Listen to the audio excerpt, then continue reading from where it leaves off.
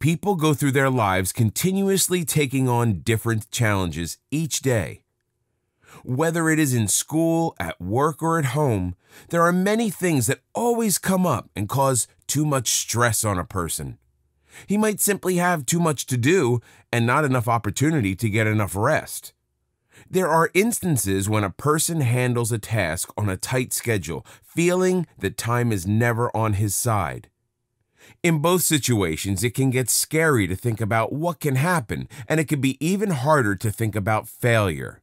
There's no need to feel this way anymore. Sometimes things happen, and there is no choice but to wait until the last minute. Whether this is because an assignment is due in the morning or if there's too much to do in one day, learning how to work faster for your own benefit is the best way to go. Procrastination is a harsh term that gets thrown around and disrespected.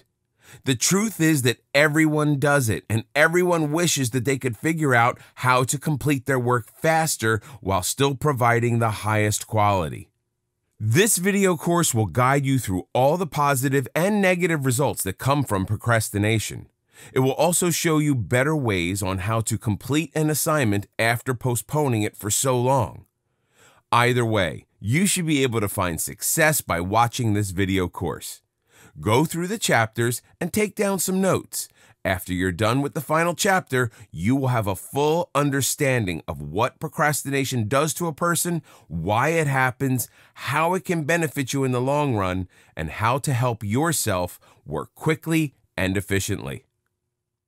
For more free educational content, visit learnforfree.biz. Content produced and distributed by AllSuperInfo.